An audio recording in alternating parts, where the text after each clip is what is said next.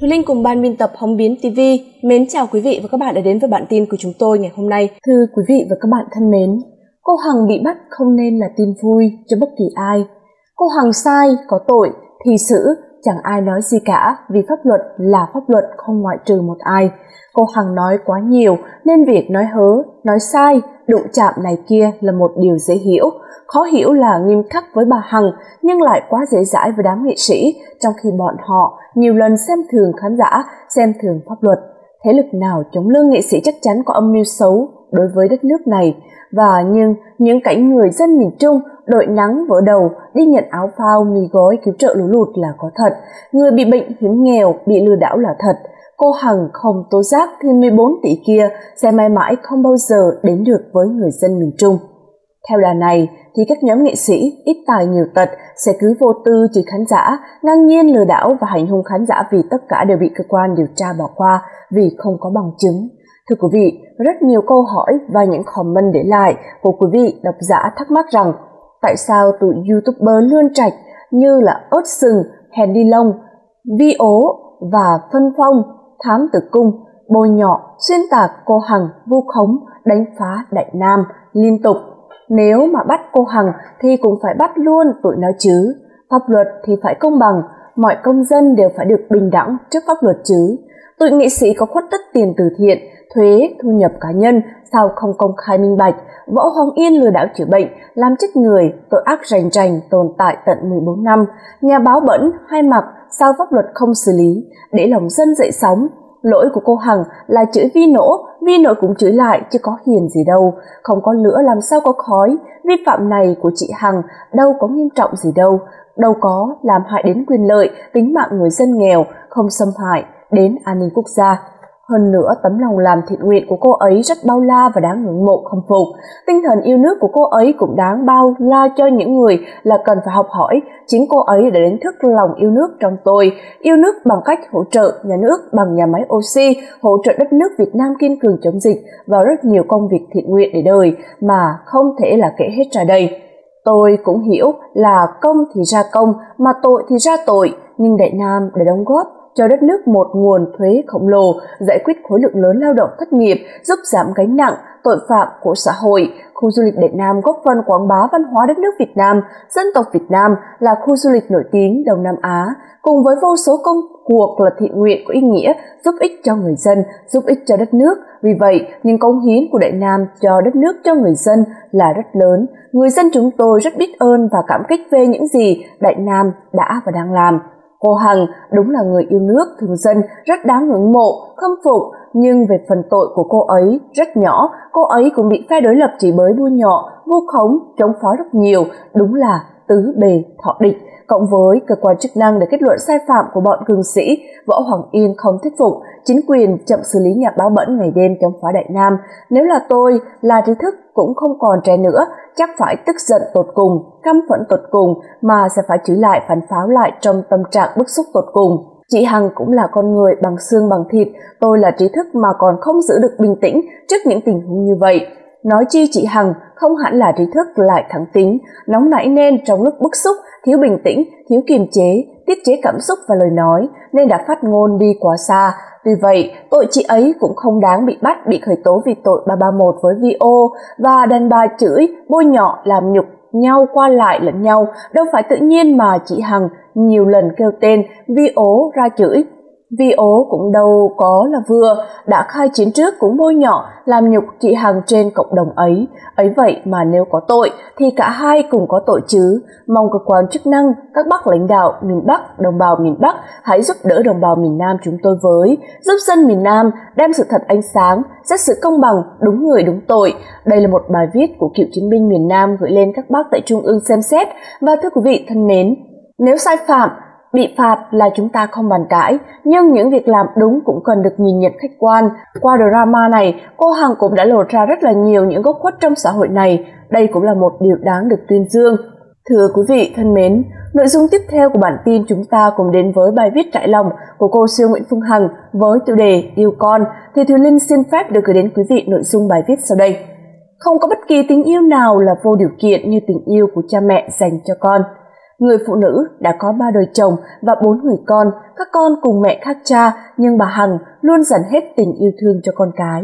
Trong livestream ngày 25 tháng 5 năm 2021, bà chủ Đại Nam từng tiết lộ về cách nuôi dạy bốn người con, đặc biệt là tình cảm của người con trai cả tên Quang Tín dành cho mẹ. Bà nói, trải qua ba cuộc hôn nhân, tôi có bốn đứa con, con trai lớn của tôi có khí phách anh hùng. Nó từng nói, con không thể chịu nổi người ta ăn hiếp mẹ, dù có đi tù, con cũng bất chấp mẹ ơi. Khi ấy tôi chỉ nói, trên đời này có pháp luật, con đừng nóng. Quý vị thấy không, nếu tôi dạy con tôi không đàng hoàng, thì khi đó nó nóng nảy chắc chắn sẽ làm ra chuyện không tốt. Tôi phải biết nén đau thương, các con tôi phải biết nhịn nhục để mẹ chúng làm những chuyện đúng đắn. Con trai lớn của tôi, nó rất tử tế với mẹ, con trai mà khi nói chuyện nước mắt rừng rừng, xót xa khi nhìn thấy tôi vất vả, 11 giờ đêm vẫn gọi điện thoại xem tôi có ổn hay không. Ở nhà có cái group năm mẹ con nên có gì cũng gửi lên đó, đêm xuống phải nói chuyện với nhau vài câu rồi mới đi ngủ.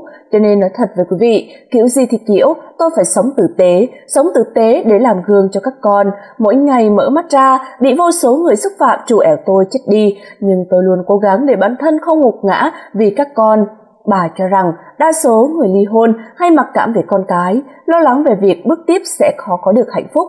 Tệ hơn, có người xem con như của nợ, đoạn đầy nó thậm chí để chồng, vợ tiếp theo hành hạ con mình. Với bà, sau cuộc chia ly, bà có thêm tài sản lớn khiến mình tự hào, đó là những người con, cả bốn người con của bà Phương Hằng đều được bảo bọc và chăm chút. Ông Dũng Lò Vôi thì nói rằng dù là trời có sập, anh vẫn muốn bên em. Thưa quý vị, bà Phương Hằng mới đây cũng đã là hé lộ cách ứng xử giữa chồng mình và các con riêng của bà và ngược lại. Tôi sống với anh Dũng 15 năm nhưng biết tự bảo bọc, tự chăm lo cho các con của mình. Tôi khẳng định đây là con tôi. Nếu anh thương, tôi cảm ơn. Anh không thương, tôi cũng cảm ơn, nhưng không được đụng vào nó vì con là bổn phận, tài sản của mình. Chưa bao giờ mong anh Dũng phải giúp đỡ con tôi và chưa bao giờ yêu cầu anh yêu thương chúng mà để mọi thứ cứ đến như tự nhiên. Nữ CEO cũng khẳng định sai lầm của những người là đã qua tan vỡ là quá kỳ vọng vào người bạn đời tiếp theo sẽ có trách nhiệm chăm sóc chiều chuộng con riêng của mình. Bà phân tích, điều đó chẳng khác nào tài sản của mình mà đem ra cho người khác sử dụng. Vì theo bà, người ta nói thương mẹ thì phải bồng con, nhưng bồng được bao lâu, tình cảm phải đến từ con tim, chứ không phải đến từ sự gắng gượng, hay vì họ muốn chinh phục thì chiều chuộng con mình, đến khi mệt mỏi rồi, họ lại sống thật với lòng họ, bà cũng tiết lộ bản thân không đã động đến con riêng của ông Dũng Lò Vôi mà bám sát quan điểm con anh con tôi, thương hay không thương cũng được, nhưng đừng đụng vào, mình đụng con người ta là đụng vào máu thịt của người ta, người ta cũng đau đớn lắm. Ông Trùm Đại Nam trước đó cũng giải thích việc yêu thương, bảo vệ danh dự cho vợ hết lòng, đó là vì bà không bao giờ bỏ rơi những đứa con của mình. Cô ấy luôn yêu thương những đứa con của chính mình đẻ ra, dù bất cứ hoàn cảnh nào, cô ấy vẫn luôn ưu tiên dành quyền nuôi con về phía cô ấy. Đó là lý do mà ngoài yêu thương, ông Dũng cùng nể vợ, người vợ hiện tại của mình.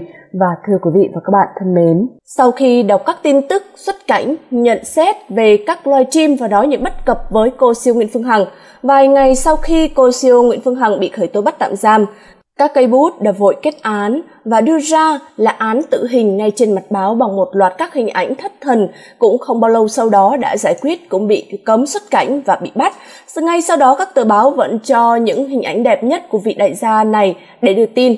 Bà Phương Hằng và ông Quyết đều là những người có khối tài sản nghìn tỷ, nhưng khi bị bắt thì báo chí có hai cách hành xử khác nhau. Điều này làm cho ban biên tập của chúng tôi hoài nghi về việc dùng báo làm công cụ để là tư thù cá nhân.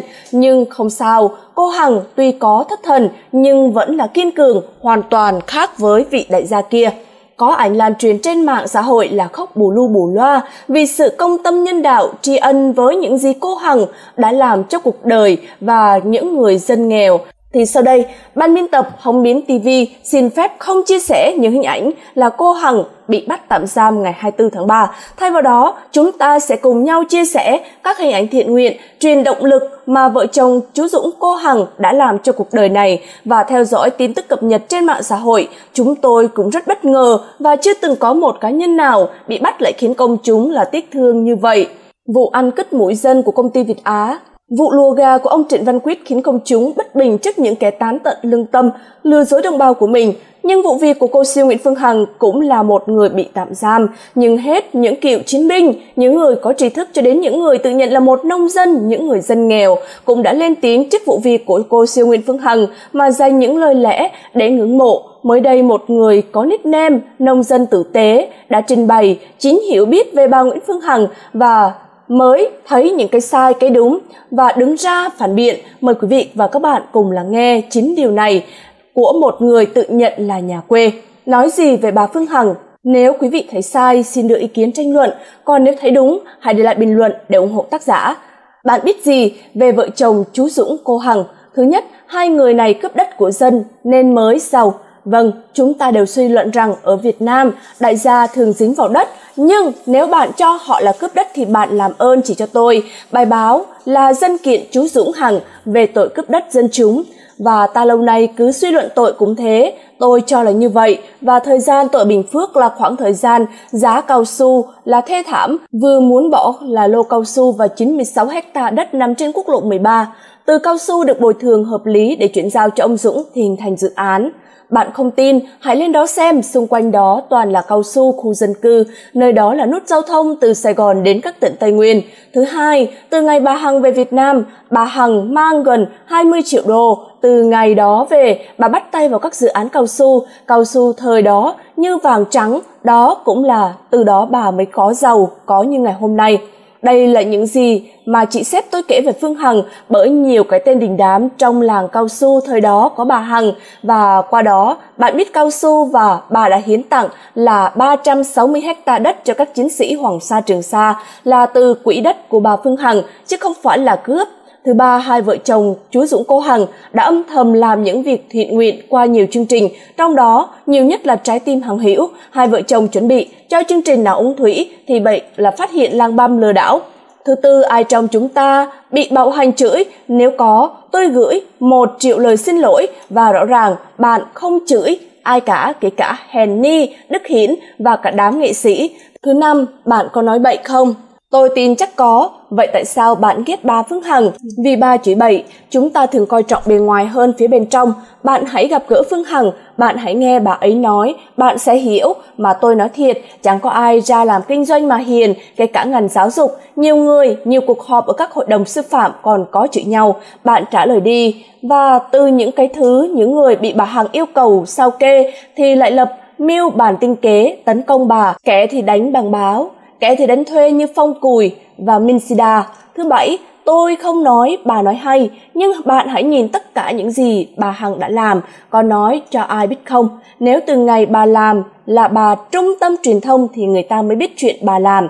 Thứ tám, nếu không có bà Hằng, bạn và tôi có khi lại bị lang băm, lừa đảo, lại mua hàng rõm từ các ca nghệ sĩ. Thứ chín, bạn nghĩ thiệt hại khi không còn quảng cáo lớn không? Bạn có niềm tin để huy động từ thiện từ anh Năm Mực, đám nghệ sĩ nói điên như thế nào không? Tóm lại, yêu hay thích hay ghét bà Hằng, nhưng chúng ta cần nên có một người cô như thế để rồi có thêm một và rồi thứ n người như cô ấy ít ra hàng trăm thứ được phơi bày và xã hội cần được thanh lọc và cần trong sạch lâu nay trùng showbiz trùng truyền thông từ đây khép lại hãy là công tâm và thưa quý vị và các bạn thân mến, đây là một bài viết rất là hay của tác giả và sau đây chúng ta sẽ cùng đến với bản tin tiếp theo trong bản tin ngày hôm nay.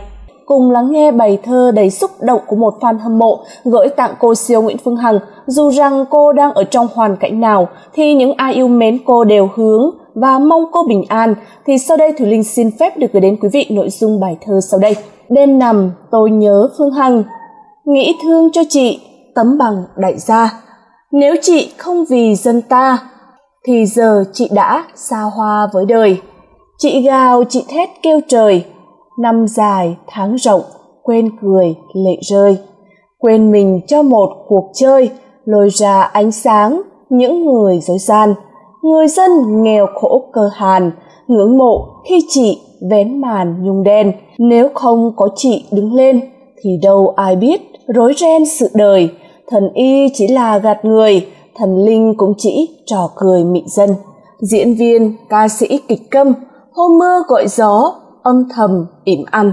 Luật sư, nhà báo chết chân bẽ công ngòi bút tưởng dân ngu đần. Cảm ơn chị đại có tâm. May nhờ có chị, tôi dần hiểu ra. Bao nhiêu rác rưởi thối tha, bàng dân thiên hạ, thật là hạ hề tất cả chỉ là trò hề lừa dân, hại nước, bốn bề lâu nay. Người đi tranh đấu vì ai? Chỉ mong chân lý về tay dân mình. Trách ai vô nghĩa vô tình, vô tâm vô cảm, tội tình chị mang. Một mình chống lũ sói lang, một người con gái mình vàng dạ son.